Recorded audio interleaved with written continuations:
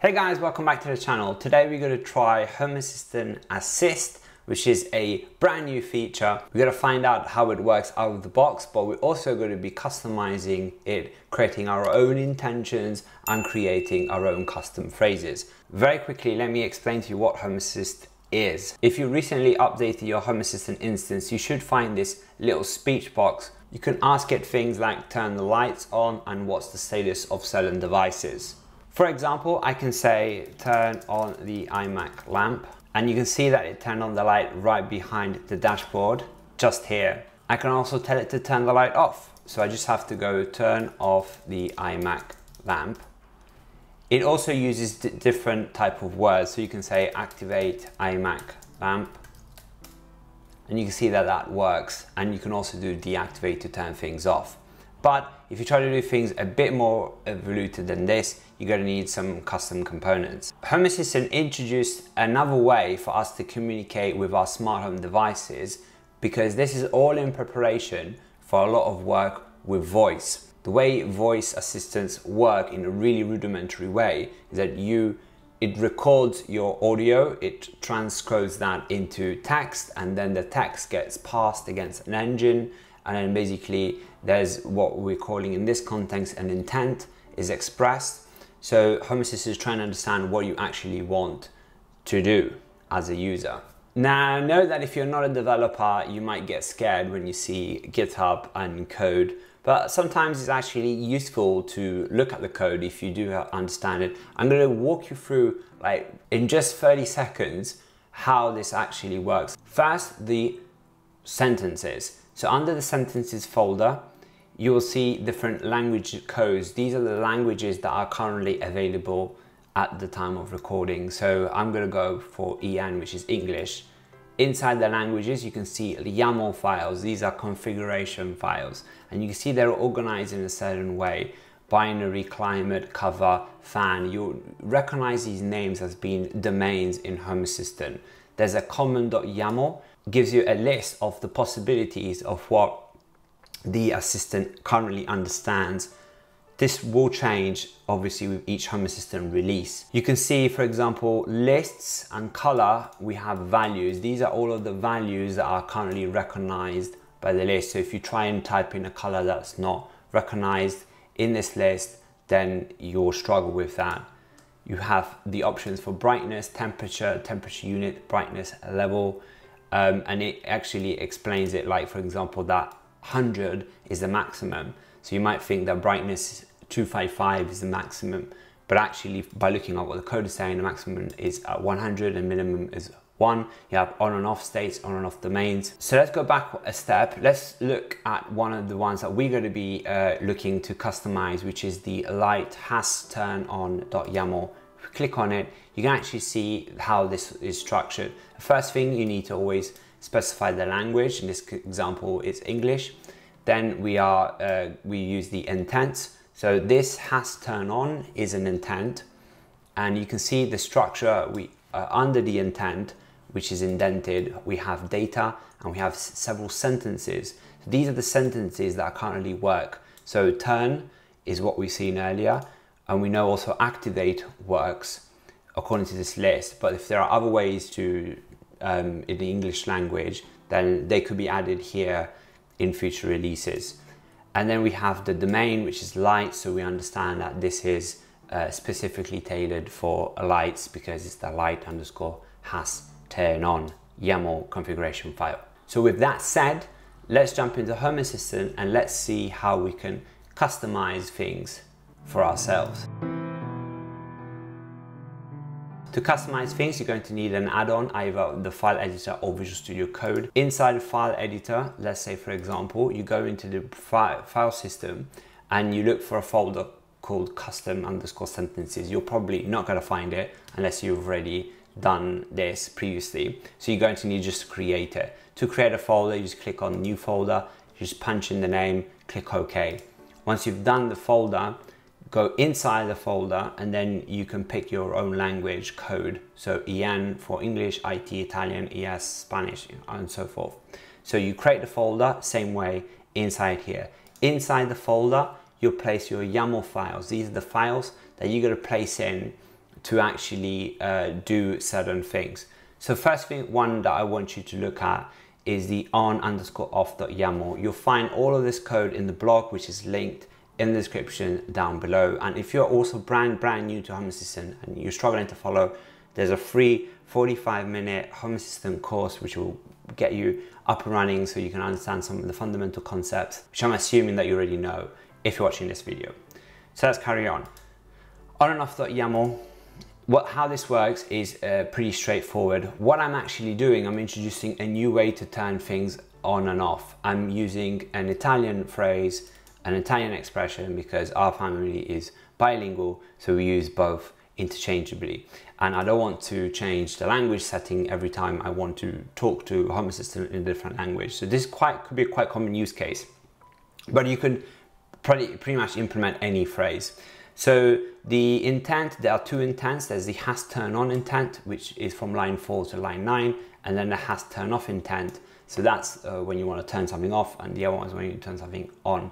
So I'm specifically looking at one entity ID just to test. You can then generalize this, and you'll see in the blog how I've actually done that.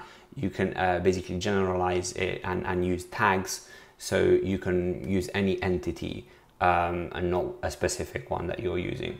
So you put the, the phrase here, there's an optional phrase. Uh, so this, this is the, uh, but you could change this in, uh, in the uh, article, basically in, in your own language or whatever you're doing. So keep it as it is for now. Um, and, and that's it really. So now if I use this expression, I'm able to turn things on and off. And I'll, going to give you a demo of this.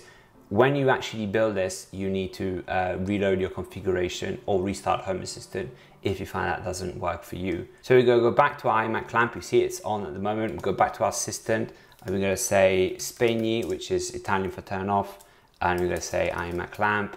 And you can see that instantly turned it off. I can go accendi iMac lamp and that works too. If you were to try the same thing without putting that code in, you'll see it failing and you'll see something like say for example, with a random text, you'll get like, sorry, I couldn't understand that. That's the default response that you would get from host system. Jumping back onto the intents repository, um, so these are the sentences. So the sentences are your input. So this is what we, me and you are writing to the assistant, but our responses, which come under the responses folder, and these are obviously split by language. So the assistant will reply to you in the language that you've set it to reply.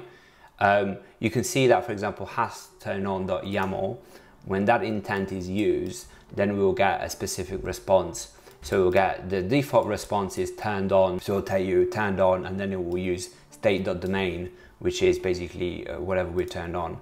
So it would say turned on, and this would be light, would be state, the state.domain uh, templating expression that you can see used at line five in the code. And then there are other examples, like if you're using an area, or a fan, or if you're doing a cover or cover device, uh, scene, script, unlock. So you can see the different scenarios and there's like different responses depending on what you are turning on. So this is like a generic turn on YAML that covers everything. The previous one we saw was more for uh, light, light only. So these are the responses. Now I can't remember where I found it, but previously there was somewhere where you can actually find the generic um, response. So if I just pretty much copy this, sorry I couldn't understand that, and I were to search it in the repository, yeah, okay, we found it. So you can see that in the common.yaml under the English language, so if I will just go into here, you can see that no intent. This means that Home Assistant or Home Assistant Assist was not able to understand your intention because it didn't understand the sentence that you uh, gave it as an input. So it will tell you, sorry, I couldn't understand that and that's your default answer. You have some other default answers in terms of the errors. So no area, no domain, no device, no entity and handle error. So this is sort of how it works. If you're getting value out of this video, remember to like and comment in the section down below if this is um, making your understanding of Home Assistant Assist uh, better. We're not finished here, so we've got uh, one more thing I want to show you how to do this. So I'm going to be creating a custom phrase. The custom phrase is basically going to allow me to just say anything I want and then get a, a response back. So let's say I want to know is the fridge open, or I can say, is the fridge open or closed? And now we've got a response, the fridge is off, which basically means the fridge is closed. So how did I actually get that this set up? If you try this yourself, even if you have a fridge sensor or something, it, it was not going to work. And I'm going to show you how you can use this custom phrase. So go, if you follow the video through and you haven't skipped. So I'll quickly repeat what you need to do to get this set up. So back to your file editor again, in the same folder that we created previously, but if you skipped ahead, uh, quick recap, custom sentences and en, which is your language. In here, you'll create a file. It doesn't matter how you call the file. I'm calling it fridge.yaml as an example. In this file, you're going to have similar contents to what we had before. We have a language and we have intents. So this is pretty much similar. But this is a um, made up name, right? So custom fridge sensor, something that I have created because it's relevant to um, what I'm doing over here.